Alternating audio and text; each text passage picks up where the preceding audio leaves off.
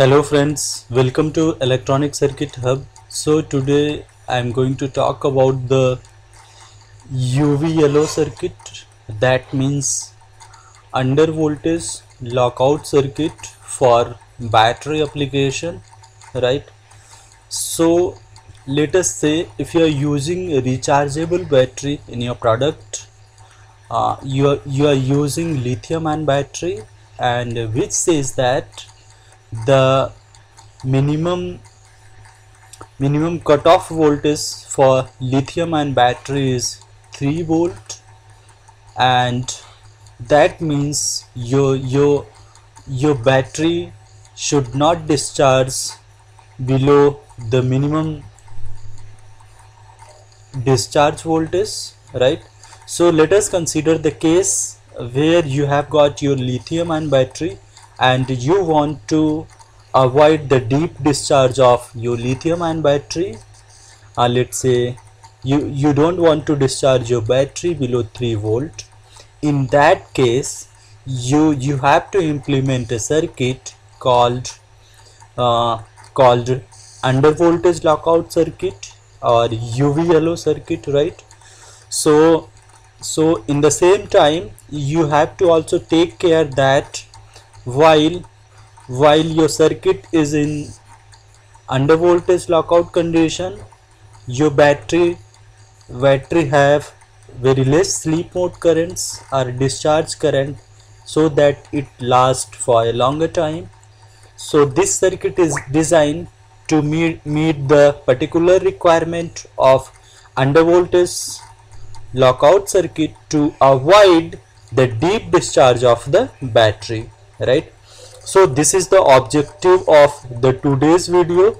So now let us understand first this circuit how this circuit is implemented how this circuit works and then I will run the simulation and I will show you the exact behavior of this circuit right?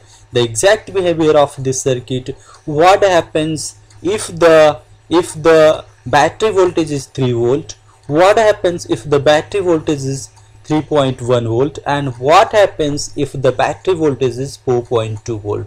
Let us say your operating range for any product is 3 to 4.2 volt. So in that particular case uh, let us understand this circuit first okay? So you can see here uh, here uh, this is u1 that is operational amplifier that is lt1495 you have to choose you have to choose each and every component very precisely right? You have to choose each and every component very precisely to avoid to avoid the the discharge current while battery in EV UVLO condition okay. So let us let us calculate the power budget.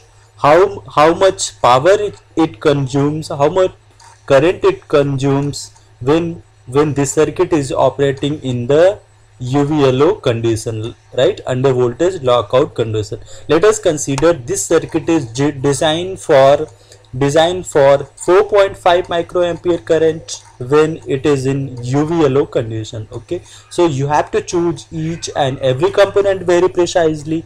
Let us say if you're choosing your operational amplifier you have to you have to look that the the standby current for this LT1495 should be very less. That could be nanoampere or microampere so few microampere right? So likewise you have to choose the component very precisely here.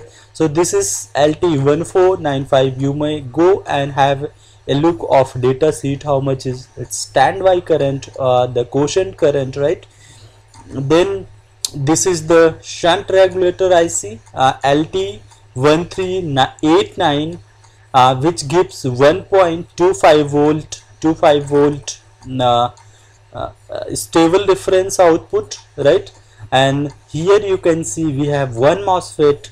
Uh, the selection of the MOSFET you can choose based on your load current right? Based on the your load current.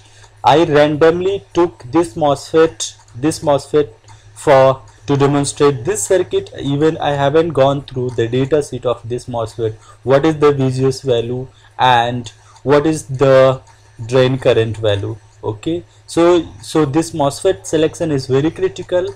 Based on your particular application you can choose this MOSFET right? Then you can see here. Now let us talk about first this circuit how this circuit works. So at the positive positive side you can see here you have a stable difference plus r1 and this is r2 so so the voltage across the positive terminal of an operational amplifier op amp is uh, 1.25 1.25 volt plus r1 into current flowing through the r1 okay? So voltage across this node let us say this is node b. So voltage across let me demonstrate here this is node b right? So let us say this is node b and let us say this is node a for explanation node a and node b right? I will use node a and node b okay? So let us say let us say now uh, the voltage across node b that is vv is equals to 1.25 volt plus R1 into current flowing through this R1 and if you want to calculate the current flowing through R1 you have to calculate uh, let's say the lockout voltage 3 volt minus this reference voltage 1.25 divided by R2 plus R1 you can find the current flowing through the R1 and you can find the voltage drop across the R1 so the VV is equals to 1.25 volt plus VR1 that means voltage across this resistor.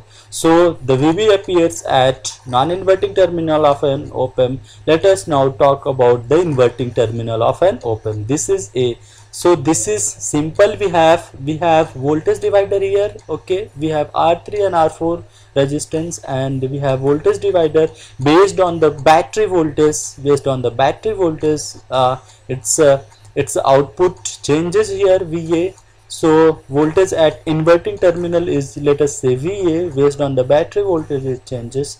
And at the output of an op amp we have a uh, we have a series resistance for the for the MOSFET gate driver right? And if you are thinking why do I need R6 right? So it is not connected in a proper manner so let me connect here let me connect here here. This is the correct circuit. I made something wrong here. So if you want to think why why do we need R6 here I will explain the the application of R6 or why do we need R6 here okay. So this is basically you you can see here your positive terminal of an op amp has fixed regulator. Okay. A fixed shunt uh, regulator that means you have some reference voltage here that is fixed and your negative terminal of an op amp is variable input voltage. So how this this is basically a comparator with hysteresis. So r6 is used for the hysteresis. So if the voltage across VV that means plus terminal is greater than the voltage across the minus terminal your output is high. Whenever your output is high here the V out here at at the MOSFET output is low. Whenever your VB is less than VA that means the voltage at plus terminal is less than the voltage at minus terminal. So your output of an operational amplifier is low. Whenever this is low the gate of the MOSFET observe low voltage and at that point of time your V out is high okay? So this is basically basically working a com comparator with hysteresis okay? Now let me run the transient analysis and uh, uh, let me show you the behavior of this circuit right? So you have to click it here. This is run button. So click it here. And go maybe go here. This is tile window vertically. You have two window here okay? You have two window. So uh, you, you may divide this into two. Plot pane one for one for input and one for output. So this is the input here. So let us click it here. This is the input. So you can see your input is changing from 2.95 volt to 4.2 volt. Here in your input we have 2.95 volt and here here uh, 4.2 volt. That means your input signal is ramping from 2.95 volt to 4.2 volt. And let me click it here and let us see the behavior of output signal. So you can see here you can see here edge uh, so let me uh, place the cursor here. So it is around it is around uh, 3.3. 05 or 09 here. As long as the input voltage is 3 uh, below 3 volt there is a no output at V naught here. You can see this is V naught. So there is no output at V naught. And as soon as as soon as your input voltage increases beyond 3 volt even let us think for 3.0 volt here 3.0 volt here. You can see as long as your input voltage is increases here this is 3.1 volt somewhere. If I uh, try to draw a vertical line from here to here maybe it's not correct but we can make a assumption. So as as soon as your input voltage is 3.1 volt uh, your your output is your output is high. Okay so your output is high and now at this point of time uh, whenever your input voltage is above 3 volt your output follow your output follow the characteristic of characteristic of your input signal or input voltage right? So this circuit is widely used in the uh, industry to protect the lithium ion battery uh, from the deep discharge right? From the deep discharge to have better charging profile and better longer longer life of the lead lithium ion battery. Meantime you have to very uh, sure about the component selection. You have to use very precise component. The the tolerances for this resistance R3 and R4 R2 and R1 uh, R5 and R6 can be very precise and it could be in the in the percentage of 0.1 percent okay? So this circuit here is only demonstrated for the educational purpose right? So hope you understood how under voltage lockout circuit work for the battery application. If you have any question feel free to ask me in comment section. Thanks for watching this video